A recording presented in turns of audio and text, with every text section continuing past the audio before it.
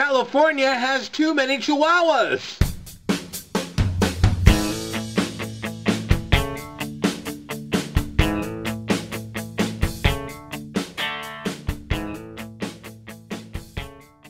According to the newspaper article, California has an overpopulation of chihuahuas and Hollywood is to blame. So those of you that are in the industry, you are bad people because Hollywood and the promotion of different movies is inspiring people to go out and buy these chihuahuas so much that people can't handle these chihuahuas. According to this article, we, the state, um, I guess we're paying to fly the dogs out of state. Uh, the Chihuahua in first class would like a blanket. We're broke and we're flying dogs out of state.